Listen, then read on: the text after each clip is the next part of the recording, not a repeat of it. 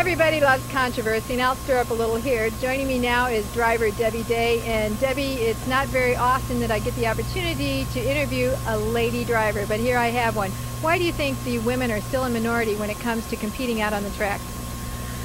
Well, there's just there's not that many women, and uh, it's it's pretty rough sport, especially when you're competing against male drivers. There's a whole lot more of them than there are us. I don't know, just maybe um, they're not interested in the horses. I know we're we take good care of them. there should be more women. Well, purely from the standpoint of being against all the men, what does it take to get the respect of your male-dominated peers? Well, it takes uh, respect. I, I, guess it took me maybe five years. I've been driving for 30 years, so four or five years for them to respect that, yeah, I can handle a horse, and they enjoy driving with me, and it just, you know, takes your ability to not be stupid out there. well, you speak about that, but you're not out there every night, every night, every night like most of the men, and I'm sure there's a little bit of uh, handicap to that.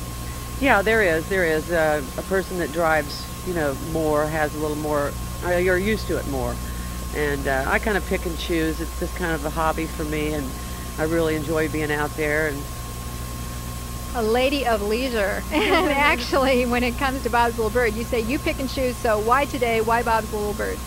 Well, a friend of mine, uh, she's been my friend Sherry uh, since I was in the fourth grade, and they just insist on me driving their horse. They love for me to drive. They get excited. They enjoy watching me drive.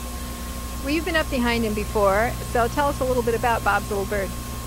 Well, when we first qualified him, I thought he had a few problems. We made a few changes on him. Uh, injected his hocks, and he's just come along, and uh, he's a nice little horse. He's had a few problems, but he's a nice little horse. In the beginning, I thought, oh boy, we're going to have some problems, but he's come uh, right along. He's a nice little horse. Okay, a nice little horse, but he's got the outside post position today, and how will he give you his best race? He, he really likes coming from behind. I had raced him on the front end last week, which I was surprised to be on the front end. But um, I'm not sure. It depends on if he wants to leave or, you know, he comes from behind good though. He likes following. He likes being in the in the bunch. What about catching a hole here at Delaware? If the horse kind of, you know, drifts out there, leaves a little, is that tough?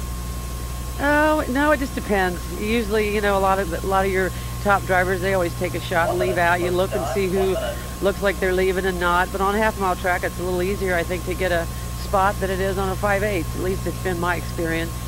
You mentioned top drivers again, and what about intimidation factor? Are you intimidated by the fact you're going up against some of the sports heavy hitters, uh, David Miller, for instance? No, I knew David before he was driving. a lot of them is sorry to say. I mean, I remember when they were very young. I know their mothers and fathers, their grandfathers. So I've been around the business a long time. Now, Debbie, we know that's true, but there's one thing that you bring to the business, and that's uh, you're very outgoing and vivacious, and you look so good in your colors. well, thank you very much. that's not everything all those drivers can say, that's for sure. Well, good luck today, Debbie, and thanks for telling us about Bob's Little Bird. Thank you. Let's go back to you, Sam. Well, Sam's taking a little break, so Roger's sitting in.